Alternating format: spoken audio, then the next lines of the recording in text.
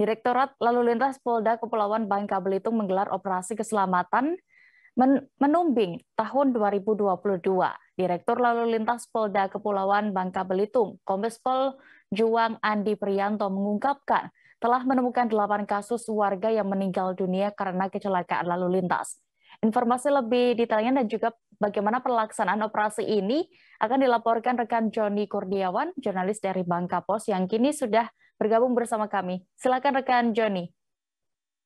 Ya, terima kasih rekan Dea di studio. Uh, selamat sore sebelumnya.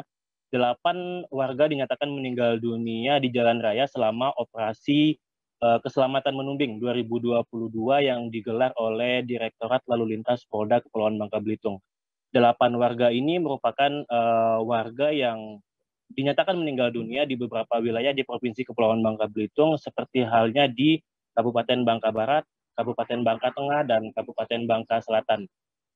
Direktur Lalu Lintas Polda Kepulauan Bangka Belitung, uh, Kombes Pol Juang Andi Prianto menyatakan saat pelaksanaan operasi uh, Menumbing 2022, tak hanya delapan warga yang dinyatakan meninggal dunia, tetapi ada juga dua warga lainnya yang uh, mengalami kecelakaan dan mengalami luka-luka berat maupun luka ringan. Selain adanya korban jiwa yang tercatat, uh, operasi dalam operasi keselamatan menumbing 2022 ini juga uh, tercatat sebanyak 670 perkara tilang dan juga 592 perkara teguran yang dikeluarkan oleh uh, Direktorat Lalu Lintas.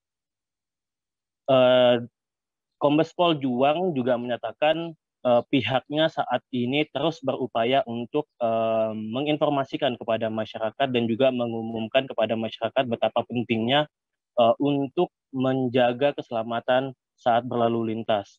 Saat ini pihaknya juga uh, terus berupaya untuk meminimalisasi pelanggaran-pelanggaran dan juga meningkatkan kesadaran uh, masyarakat di jalan raya. Demikian uh, laporan yang bisa kami sampaikan kembali kepada Dea di studio. Baik, terima kasih rekan Joni Kurniawan untuk laporan Anda. Selamat bertugas kembali. Terima kasih sudah nonton. Jangan lupa like, subscribe, dan share ya.